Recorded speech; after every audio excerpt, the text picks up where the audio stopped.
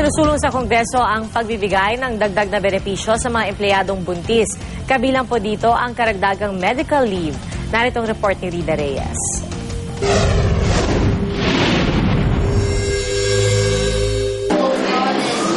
Buwang buntis na sa kanyang ikatlong supling high school teacher na si Claire. Bagamat di na bago sa karanasan ng pagdadalang tao, aminado si Claire, walang kaparis ang hirap na pinagdaraanan ng isang expectant mom. Idagdag pa raw ang stress na nakukuha mula sa pagiging isang guro.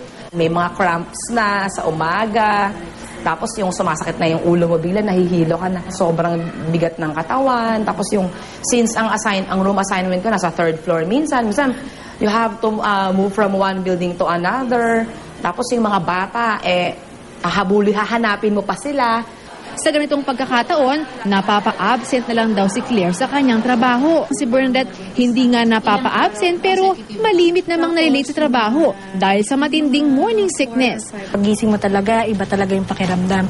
So kung pwede akong pumasok ng 11, mag- malaking tulong na yun. Since 9 ako, may adjustment pa yung katawan ko para makapag-work ako na mas maayos.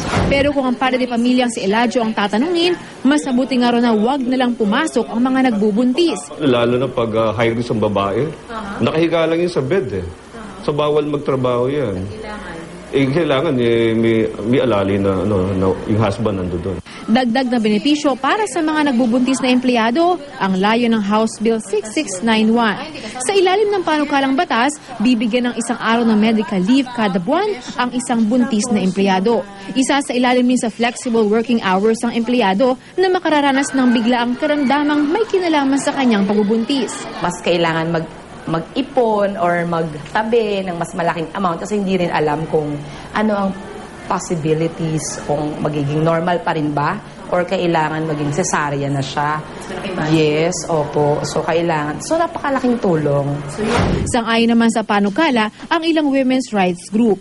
meron na tayong RH law na ang ibig sabihin ay ah, pangangalagaan din talaga yung ah, health, yung kalusugan. Hindi lamang ng babaeng nagbubuntis, pero yung ipinagbubuntis din niya. Gayunman, malaking katanungan raw kung gaano kalaki ang tsansang maipasa ang House Bill, lalo pat ang mga probisyon ng maternity services na nirekomendang isama sa reproductive health law, tinanggal pala sa final deliberations ng RH law kamakailan. Para sa unang balita, Rida Reyes reporting.